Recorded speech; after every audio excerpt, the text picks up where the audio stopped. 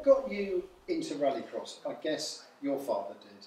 I mean, I'm not complaining whatsoever, but I I don't think I ever really had a choice in it. I think um, because my sisters didn't really go into it, I think it was it was kind of going to be a birthright. Um, I mean, I'm definitely not complaining whatsoever. I love it. It's my favorite thing in the world. But um, I, I don't think I ever had a choice in it anyway. And, and in terms of learning, has Dad been a huge help, or have you just kind of gone, look, just shut up, leave me alone?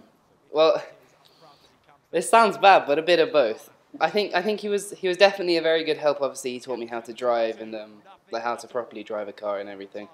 But it, it was quite funny actually.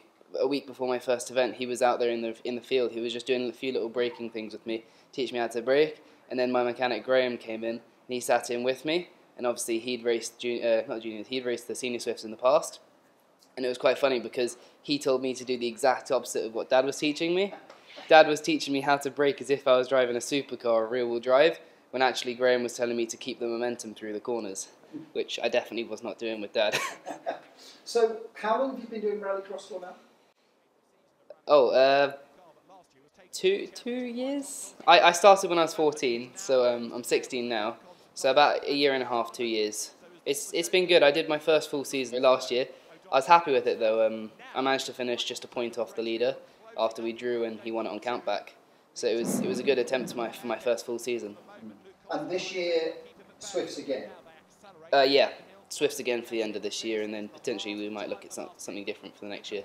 Maybe buggies more than likely and then see us see us how we progress after that. When do you reckon that you will be ready for supercars? Uh, well, whenever Dad lets me. I mean, I'm I'm open to hopping into one now. I don't have an issue with that, but um, I think I think it's going to take quite a bit to get him out of the supercar.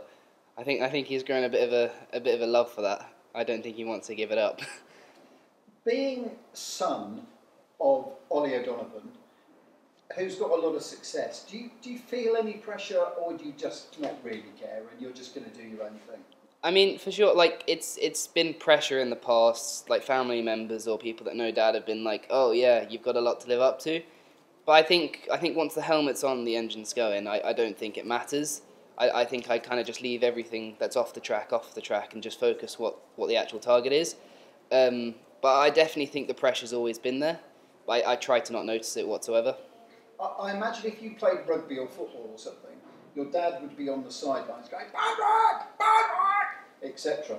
Does he do the same with rallycross? Um, I, I mean, I mean, he he shouted in the past, like you, you can see him there, like cheering on at the sidelines and everything. But um, no, he, he's not he's not too controlling when it comes to that. I think he he definitely likes to give me my own space and let me try and figure things out on my own, because um, I think he understands that if he was a bit too harsh on it, it might not be as beneficial towards me. Okay, right. I'll let you get back to your clinic. Thank, Thank you. you very much.